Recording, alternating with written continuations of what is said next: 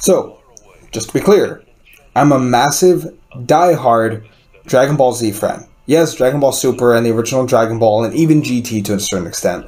I'm just a massive fan of this whole franchise. I have multiple workout shirts with Goku on them. So, that said, I say this with love. I didn't like Resurrection F. Now, it's weird because of the last four films from 2015 onward Battle of Gods, great. Resurrection F, Dragon Ball Super Broly, awesome. Dragon Ball Super Superhero, honestly, didn't like it at first. It's grown on me. That said, though, Resurrection F, I think, unfortunately, could have done more. It was weird because we had one really, really great battle sequence with the Z Fighters versus the Frieza Force, but then we had Super Saiyan Blue Goku just handing Golden Frieza his shit. We had Vegeta, who could have gotten a win, who had his win stolen. He never fought Frieza in a fair one on one fight, but I'll leave that for later. Also, it feels like there's no tension because Beerus is right, so uh, I just I didn't like Resurrection F. That said, I think there's a better story that could have been told that could have rebuilt a character that most of us love Gohan. See, little history lesson. Post Cell, Gohan was meant to be the main character of Dragon Ball Z. He was meant to be, you know, the new figurehead after Goku passed away. However, Toriyama, either he got cold feet, sales, whatever happened, he just decided to go back to Goku. As far as I'm aware, the reason being is because he felt like Gohan becoming a fighter and the Defender of Earth taking Goku's position just didn't really jive with his character, which I understand, but you're the author. You can mend that, you can change that, you can twist it into what you want. So, that said, what if we use this film to rebuild our favorite Saiyan son, Gohan? Now, let me be very clear in this film, from the very beginning, there will be no Goku, no Vegeta, no Whis, and no Beerus. Now, the opening of the film goes as the original one did. Frieza is brought back and attacks Earth, but he wants to kill Goku and Vegeta. That those are his targets. Now, once again, the Z Fighters all team up like before, but Gohan is the one to suggest only them. He, Goten, and Trunks should be able to handle it, along with Krillin, Jok, Jokin, Jokin, this dude, uh, Tien, and Master Roshi. When confronted, why, why don't you want to call our dads? Well, what's wrong? And that's when Gohan says, after Cell, guarding the planet was his job, but he failed.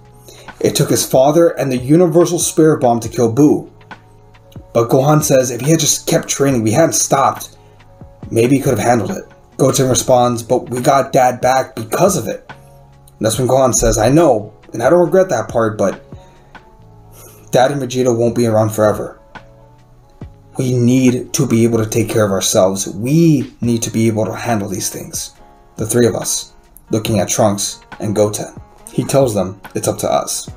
Also, real quick note Goten and Trunks are noticeably a little older. They're around the ages of like 11 and 12. They look, should look like Teen Gohan around this point. So right now, it's Gohan, Goten, Trunks, Piccolo, Krillin, Tien, and Master Roshi versus the Goon Squad. Now, in the build-up leading to the whole Goon fight, I do want a bit of character development to happen. I want Trunks to have a bit of an inferiority complex. He wants to do more. He wants to build himself up he doesn't just want to be Goten's partner, he doesn't just want to be Vegeta's son, he wants to live up to the legend that was created. After all, Future Trunks was a brave warrior who risked it all just to help another universe. What has he done? On the other side of the coin, Goten remarks he's never really had the chance to train with his dad very much. He's spent time with them, but nothing like what Gohan and Goku went through when it came to Cell. And he's a bit jealous of that. He's not sure if he has the courage to live up to that because even when they faced Buu, he did it with Trunks. He's never had to risk himself. It's at this point that Frieza gets serious. I can't decide who I want to kill first. The son of the Saiyan who humiliated me, the one who looks like he killed me, or the brat who started it all. And throughout the entire battle, when it's Frieza versus Goten, Gohan, and Trunks, he keeps saying, call them, call Goku call Vegeta. I want them here. I want to kill them. He's able to overpower everyone, including Piccolo. That's when Gohan beefs up to Mystic Gohan. But at this point, when you think it's going to be a struggle, no.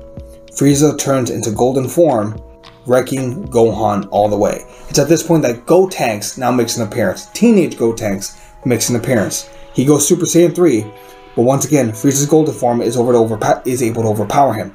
At this point, he smacks Gotenks down, unfusing the boys, leaving Piccolo and Gohan to catch each of them as they fall down to the earth. Trunks tries to rush Frieza all by himself, but to no avail. He gets knocked down and knocked out. He decides to try and kill Trunks, but Goten jumps in the way, taking the blast, much like the way Gohan took the blast for Vegeta against Cell.